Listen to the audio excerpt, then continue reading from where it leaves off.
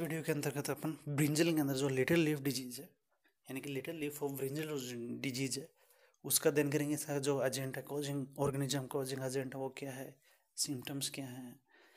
अगर डिज़ीज़ हो गई तो अपन किस प्रकार से उसको कंट्रोल कर सकते हैं, उसको नियंत्रण रोक सकते हैं। तो इस प्रकार इन सभी जो बातें इनका अध्ययन अपन इस वीडियो में करेंगे। तो जो लिटिल लीफ ऑफ़ ब्रिंजल है, वो किसके द्वारा होता है? फाइटोप्लाज्मा जी बैक्टीरिया। तो ये किसके द्वारा होगा? फाइटोप्लाज्मा के द्वारा। जैसे अपन इसे पहले की जो वीडियो उसमें अपन ने पढ़ा था loose smut of wheat Australia fungus है उसके द्वारा, या सीटर्स कैंकर डिज़ीज़ है, जो सीटर्स वेराइटीज ऑफ़ प्लांट है, उसमें किसके द्वारा? जेंथोमोनास जो सीटर बैक्टीरिया है, उसके द्वारा। तो ये जो लिटल लीफ ऑफ़ ब्रिंजल है, किसके द्वारा था फाइटोप्लाज्मा के द्वारा।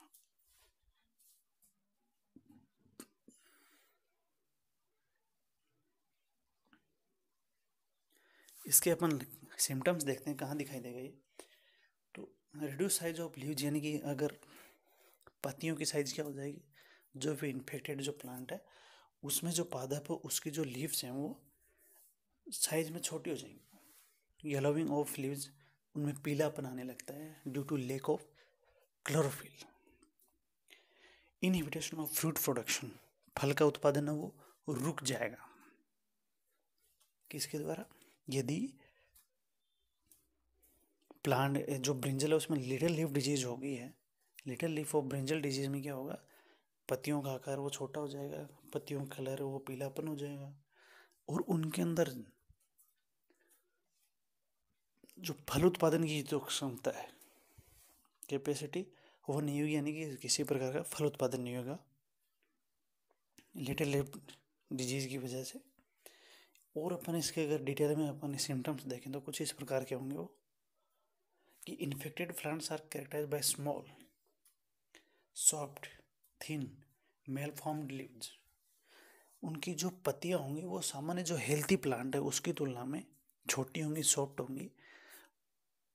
और वो एक सही शेप में नहीं होंगी वो। उसमें कलर है वो येलो क्योंकि उसके अंदर क्लोरोफिल जो कंटेंट है, वो कम हो जाएगा।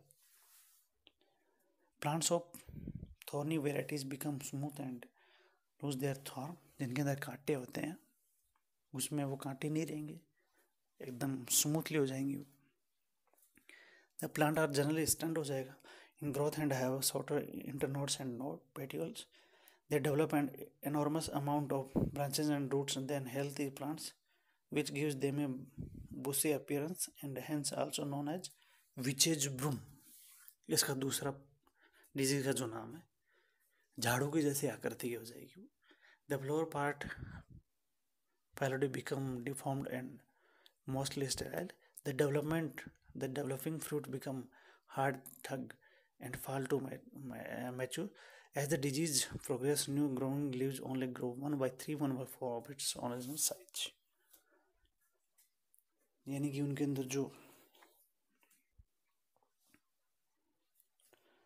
हेल्थी प्लांट की तुलना में जो डिज़ीज़ कोई अगर इन्फेक्टेड जो प्लांट है, उसमें कैसे हो जाएगी है कि बूसी अपेयरेंस यानी कि विचेज ब्रूम जिसको अपन नाम देते हैं, और उसका जो फर्टाइल पार्ट है वो फर्टाइल नहीं रहेगा, यानी कि स्टेराइल हो जाएगा वो प्लांट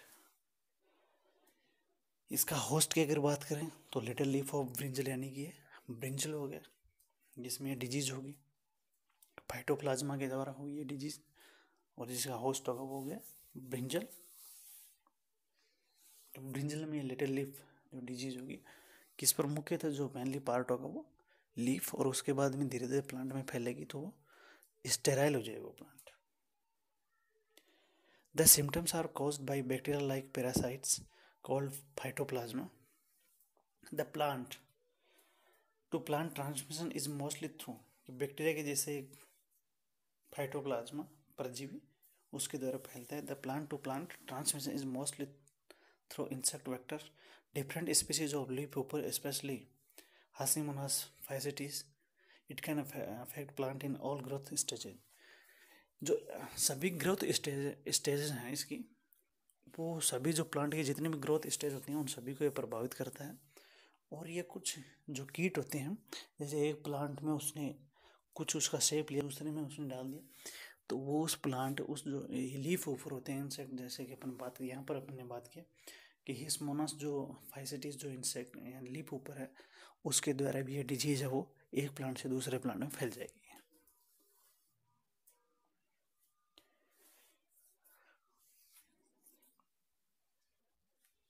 और इसके द्वारा जो पादप की, जो भी ग्रोथ स्टेज होगी वो सभी ग्रोथ स्टेज वो पादप की इससे प्रभावित रहेंगे। Little leaf of brinjal disease है। इसके द्वारा जितने भी जो पादप हैं, भाग है, या पादप की जो ग्रोथ की अवस्था है, वो सभी इसके द्वारा प्रभावित रहेंगे। अब इस डिज़ीज़ का अपन कंट्रोल कैसे कर सकते हैं? तो कंट्रोल है वो बायोलॉजिकल केमिकल फॉर्म में। Beneficial insect such as lacewing damsel bug minute pirate bug are वो voracious predator of both the egg and larva stage of these insect. यानी कि जो कीट होते हैं, जिनके द्वारा ये फैलता है, उसके अंदर जिसको, उन कीटों को अगर वो ख़त्म करने वाले जो पेरा, जो होते हैं कीट तो वो क्या होंगे? उनके द्वारा अपन इनका बायोलॉजिकल कंट्रोल कर सकते हैं।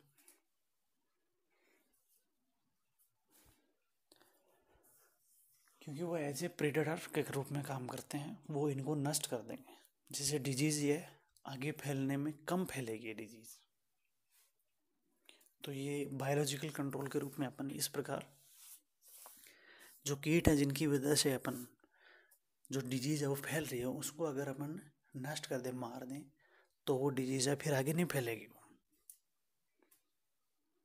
तो ये तो हो गया इस डिज़ीज़ का बायोलॉजिकल कंट्रोल अब अगर बात करें अपन, दूसरा जो स्टेप है, जिसके द्वारा अपन कंट्रोल कर सकते हैं डिज़ीज़ वो है केमिकल कंट्रोल केमिकल कंट्रोल के अंदर क्या क्या करेंगे? कुछ प्रकार के जो केमि केमिकल हैं, जिनके द्वारा ये जो कॉजिंग एजेंट है वो नष्ट कर सकते हैं, उसके द्वारा अपन आगे नहीं बढ़ सकते DG always consider an integrated approach with preventive measures together with biological treatment if available imidacloprid cypermethrin and dimethoate can be use to suppress insect vectors जो कीटवाक हैं।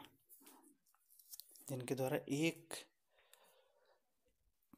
जो इन्फेक्टेड प्लांट है, उससे जो बीमारी है, वो दूसरे हेल्थी प्लांट में फैल सकती है। किसके द्वारा? इंसेक्ट वेक्टर अगर उनको अपन कुछ केमिकल्स के द्वारा नष्ट कर दें तो क्या होगा कि डिज़ीज़ वो आगे नहीं फैलेगी।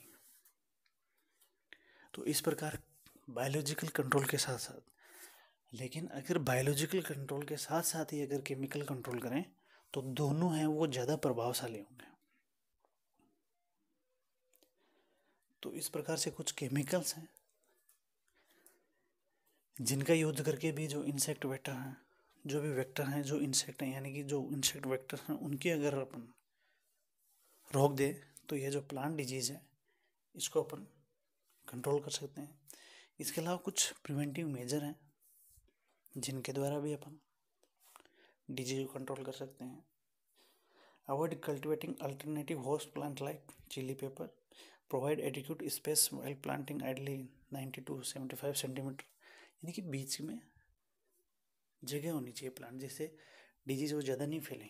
Adjust sowing time to avoid the insect vector peak season तो पीक सीज़न के अंदर जो जिनमें कीटों की जो पीक सीज़न होती है, अगर उसमें अपन बुआई कर रहे हैं तो वो ज़्यादा घातक होगी regularly monitor the field for signs of the leaf open infection ensure it is disease free remove the and destroy the infected plant immediately कि एक तो जो प्लांट है, जब बोते हैं अपन तो बुआई के टाइम है वो, उनके बीच में पर्याप्त दूरी होनी चाहिए। और एक, अगर किसी प्लांट के अंदर अपने को लक्षण दिखाई दे रहे हैं कि इनके अंदर ये डिज़ीज़ हो हो सकती है या अपने को लग रहा हो चुकी है उसमें तो अपन उस प्लांट को उखाड़ कर उसको डिस्ट्रॉय नष्ट कर देंगे, जिससे डिज़ीज़ वो उससे और आगे नहीं फैले। तो ये कुछ उपाय हैं जिनके द्वारा अपन डिज़ीज़ को कंट्रोल कर सकते हैं। धन्यवाद।